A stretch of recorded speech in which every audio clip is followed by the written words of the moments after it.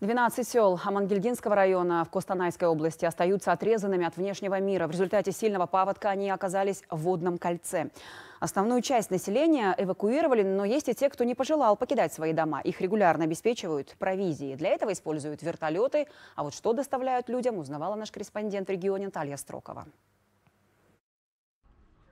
Центральный стадион в поселке Амангельды на время паводка стал площадкой для вертолетов. За несколько часов до посадки сюда привозят гуманитарную помощь. В основном это мука, масло, крупы, вода, овощи и матрасы. Это вертолет МЧС. Он делает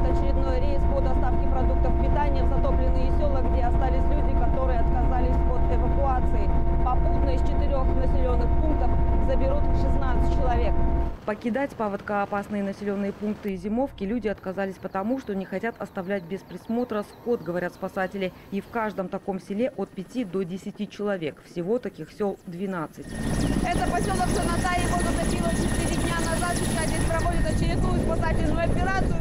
Эвакуируют 10 человек. Назгуль Алиеву спасатели эвакуируют вместе с четырьмя детьми. У старших началась новая учебная четверть. Оставаться в поселке дольше семья сочла невозможным. Дороги нет, вокруг море, никакого сообщения с внешним миром. Света нет. Детям тяжело, тем более четвертая четверть началась. Главное, чтобы с детьми все было в порядке. Жителей вертолетом доставили в поселок Амангильды. Все разместились у родственников.